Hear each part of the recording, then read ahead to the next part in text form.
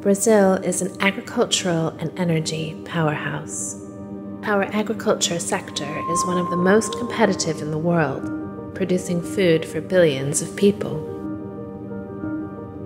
Our hydroelectric plants provide the country with clean electricity and put us at the forefront of the fight against climate change. Brazil has these advantages for a reason that is hidden in plain sight.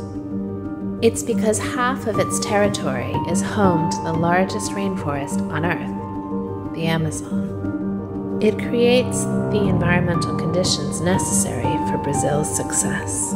Amazonia is cut by the largest river and drained by the largest hydrographic basin on the planet. It holds 20% of the world's available fresh water. But the rivers that flow on its surface are only part of the story. The forest itself creates another river in the air. Trees recycle moisture that comes from the ocean producing what meteorologists call low altitude jets, also known as flying rivers. They are large wet masses with the volume of another Amazon river that travel to the south and bring rain to crops and hydroelectric reservoirs. When the flying rivers fail, the rest of the country suffers. The record drought that hit the Pantanal in 2020 was due to an interruption in the jets of moisture from the Amazon. This episode highlights the role of the forest as a climate regulator. It prevents the impacts of global warming from being even more severe, either by absorbing our pollution or by storing CO2 in trees and soil. Indigenous lands alone store an amount of carbon equivalent to almost a year of emissions from all of humanity. Destruction of the forest puts the global climate at risk. Additionally, the Amazon holds an economic potential that is still unknown, that of biodiversity. Scientists have been cataloging the region's fauna and flora since the 19th century and even today they discover a new species every two days. But the more than 40,000 species already identified are believed to be just a small fraction of the total that exists. From this diversity come products that today make up global supply chains worth billions, like cocoa and acai, which in the state of Pará create more revenue than soy. This biological diversity is a product of evolution, but also of human presence.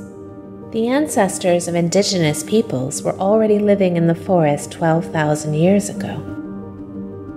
They transformed the Amazon into a center of cultural and technological innovation. Domesticated plants, changed the geographic distribution of trees, and even created a kind of fertile soil that exists to this day throughout the basin. Even though they suffered multiple genocides, indigenous peoples still live in the Amazon, representing about 200 peoples and speaking 200 languages. And they continue to cultivate and protect their territories. And they are not the only ones that benefit. Recent studies show that forests in the Amazon can produce the equivalent of $100 billion per year in environmental services, which is equivalent to the total agribusiness exports of the entire country. This balance is threatened by deforestation, the destruction of the forest. Since the 1970s, Brazil has seen in the Amazon the largest elimination of a natural ecosystem in human history. By 1975, only half a percent of the Amazon had been deforested.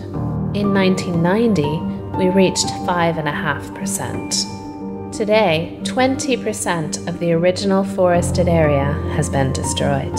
In less than 50 years, we have lost an area almost equivalent to the territories of Germany and France combined. Another 20% have been degraded by fire or predatory logging. The vast majority of this deforestation is criminal. One third of it results directly from land grabbing, the name given to the illegal appropriation of public lands.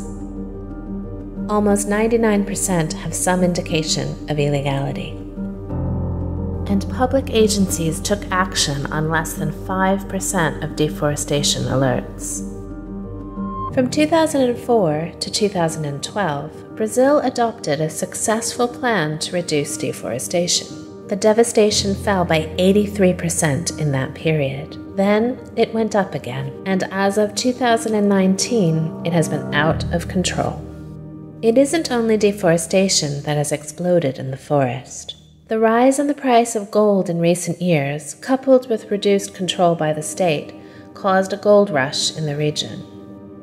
Illegal mining has grown threefold in the last decade in the Amazon in general, and almost fivefold in indigenous territories. The destruction is ongoing, scarring the forest and contaminating the waters, fish, and people. 75% of the population of Santarém, one of the largest cities in Pará, has mercury in their blood above acceptable levels. In the region of the Tapajós River, the mining mud extends for more than 500 kilometers downstream. This year, it produced shocking images of the murky water in Alter do Chão, a beach in Pará considered one of the most beautiful in Brazil. But the effects of the devastation and illegal activities extend much further. Deforestation is heating up and drying out the Amazon. This increases fires and weakens the flying rivers.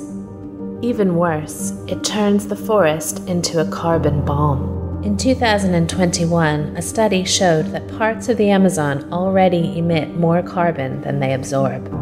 Grim confirmation of predictions made by scientists 30 years ago. The destruction leaves the forest more vulnerable to the effects of climate change. And that combination is pushing it to a tipping point, in which the biome that protects Brazilians and their neighbors today turns into a risk to their well being, to the national economy, and to the entire planet.